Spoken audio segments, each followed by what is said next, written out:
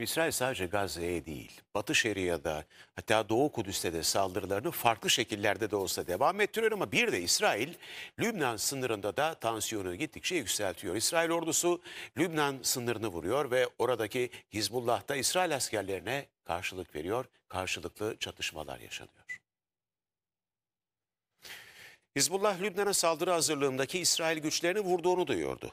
İsrail askerleri füzeyle hedef alındı, can kaybı ve yaralanmalar olduğu belirtildi. İsrail, Lübnan-İsrail sınırına yaklaşık 8 kilometre uzaklıktaki Kafra'da bir araca SİHA saldırısı düzenledi. Saldırıda bir kişi hayatını kaybetti, 5 kişi yaralandı. Saldırılar bununla sınırlı kalmadı. İsrail ordusu Hizbullah'a ait sağlık merkezi ve ambulansla 5 eve hava saldırısı gerçekleştirdi. Evler tamamen yıkıldı. Hizbullah bir askerinin daha çatışmalarda öldürüldüğünü açıkladı.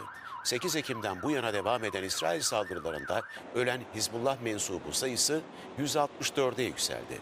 29 Lübnanlı ve 6 İsrailli sivil de hayatını kaybetti. Hizbullah'ın saldırılarında ise 10 İsrail askeri öldürüldü.